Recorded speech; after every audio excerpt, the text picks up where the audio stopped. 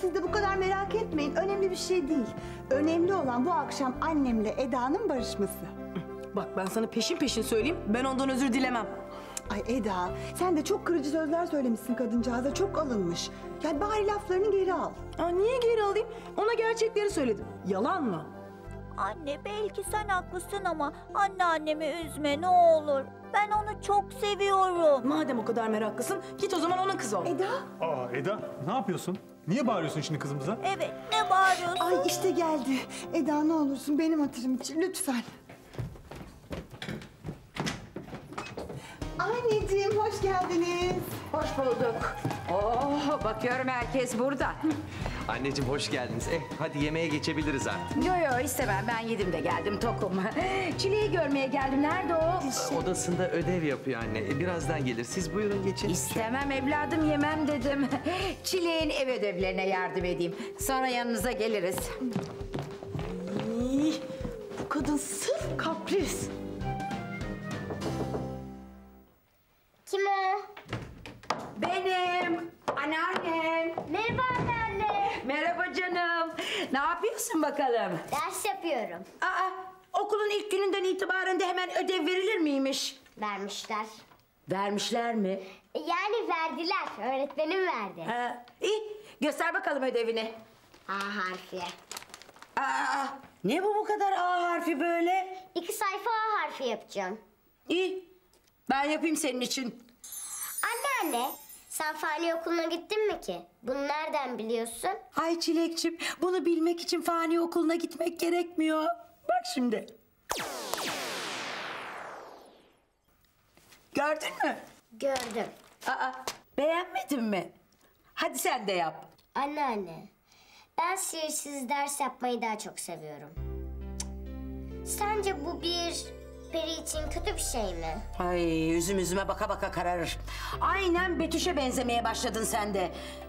Betüş de zaten babasına benzerdi. Şimdi buradan işte 76 48 222. Hay Allah ya ne biçim kitap bu? Son okuduğum Da Vinci'nin şifresinde bütün şifreleri çözdüm bu kitaptan. Hiçbir şey anlamıyorum. Hani kişiler çok fazla, hiç olay yok. Aa, ben galiba telefon rehberini okuyorum farkında değilim. Hay Allah. Odamdan çıkmadan önce anneanneme son bir şey sordum. Peri okuluna gittiğine pişman oldun mu dedim. Bana cevap vermedi. Ama gözlerinden azıcık pişman olduğu belliydi. Sonra beraber salona geçtik. Annemler babamın bana aldığı çikolatayı Firuze ablanın yediğini sanıyorlardı ya. İşte hepsi birden buna gülüyorlardı. Çok utandığım için bunu nasıl açıklayacağımı bilemedim ve gerçeği söyleyemedim. Sonra gece boyunca anneannemi dikkatle izledim. Galiba peri okuluna gittiği için neden pişman olduğunu anladım. Babam, Yavuz abi, kardeşlerim bütün gece okuldan, sınavlardan, kopya çektikleri günlerden konuştular.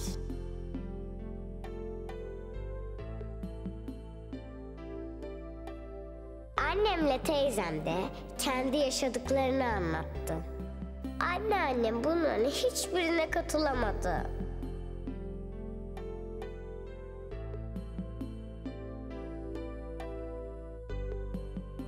Akşam herkes bizden gittikten sonra annem odama geldi.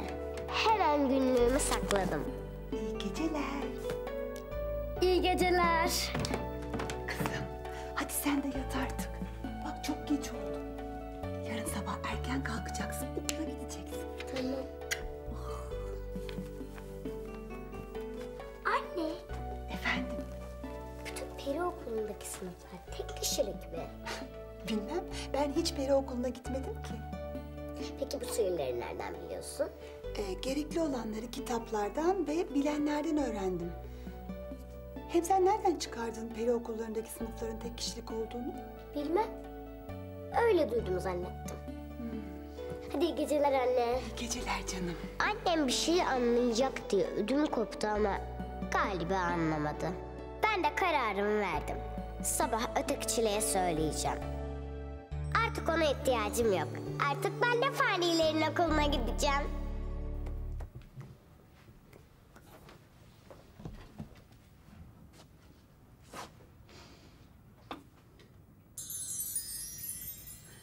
Anne. Anne uyudun mu? Dudu, aynaya bak bakayım kim arıyor bu saatte? Dudu! Dudu! Aynaya bak. Betüş, ne oldu kızım? Uyandırmadım ya. Anne sana bir şey soracağım. Peri okulundaki sınıflar kaç kişilik? Ay tabii ki tek. Tek bir öğrenci, tek bir sınıf, tek bir ders. Peki sen bunu bugün hiç Çile'ye söyledin mi? Yo, ay nereden aklına geldi şimdi bu saatte bunu sormak kızım? Sabah bana Çilek peri okuluna gitmek istediğini söyledi. Orada bir sürü peri arkadaşı falan olacaktı. Ama demin peri okulundaki bütün sınıfların tek kişilik olup olmadığını sordu. Bunu nereden öğrenmiş olabilir? Ay ben nereden bileyim kızım? Canım peri okuluna gidemediği için sihirli küreden öğrenmiştir. Hem sen buna niye takılıyorsun ki? Bilmem. Neyse, umarım öyledir. İyi geceler babacığım. İyi geceler anneciğim. İyi geceler, İyi geceler kızım. kızım.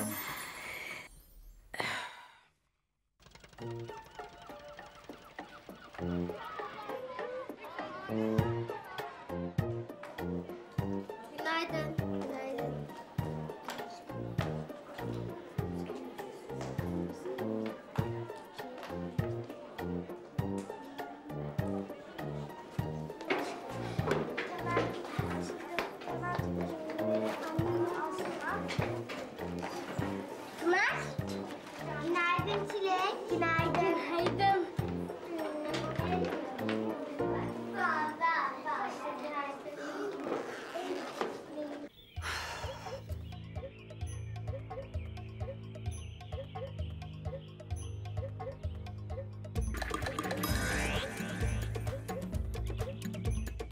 Günaydın Periliçem.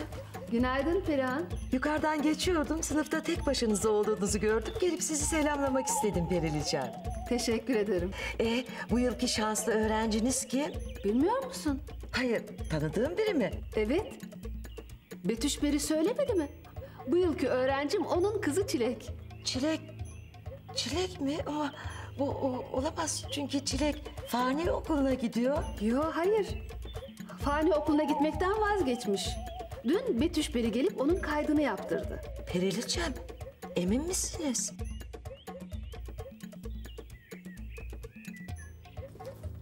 Suzancığım, masaya şunu koyar mısın? Aa,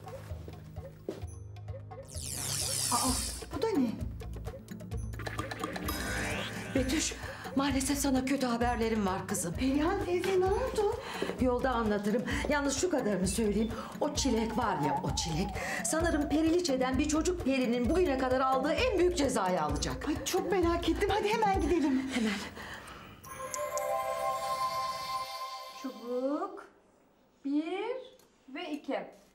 Yazdınız mı çocuklar? Evet. Söyleyin bakalım. Neymiş bu harfimizin adı? Anne,